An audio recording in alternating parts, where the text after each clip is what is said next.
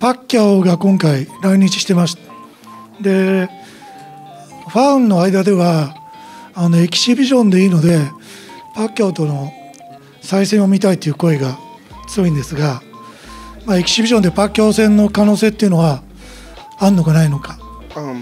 まずはパッキャオ選手についてついてちょっと語らせてください。えっと、自分は、えっと、この競技から引退した身です。この競技が私を引退させたわけではないんです。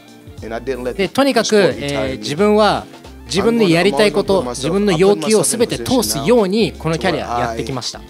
そしてそのために、えー、大変な思いをして、えー、世界のトップレベルで常に勝ち続けてきました。自分が全てをコントロールする立場にいるんです。ですので自分はこのエキシビジョンを通して元世界チャンピオンだったり現役の世界チャンピオンだったりそういった選手とやるつもりはつもりはありません。なぜならば、えー、自分はこの競技から引退した身であって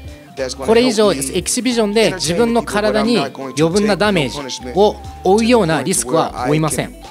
この先は自分がやりたいことをやって常にやりたいものを選んでそして楽しく世界中のみんなをエンターテインメント世界中のみんなにエンターテインメントを届けるという、えー、スタンスでやっています。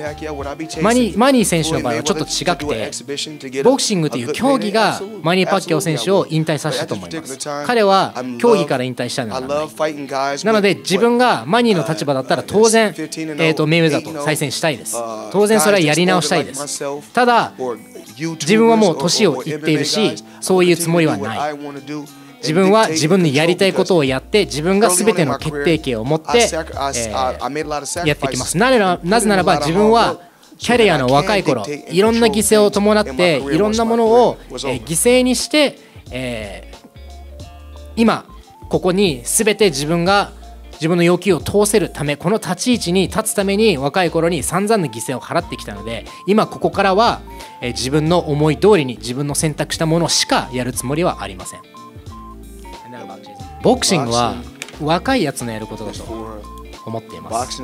で自分は現役の時ある一定の年齢についなった時にもう引退しなきゃいけないなっていうのも確信した時期があるんです。そして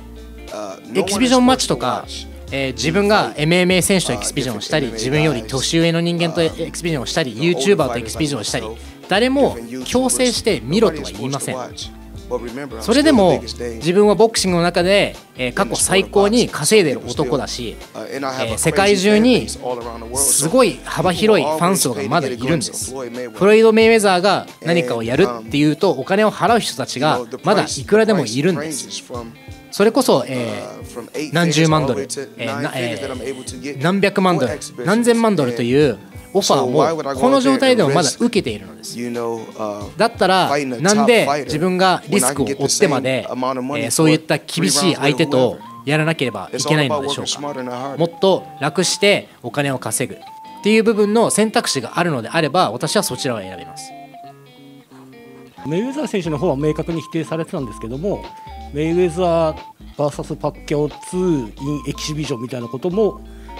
うんあのー、どうなんでしょうね、その可能性がゼロではないと思ってはいます。あのー、ただ、まあそうなると、ほぼフロイドとしては世界のいろんな国で戦いをしたいということと、やっぱり今まで交わったことがない人たち、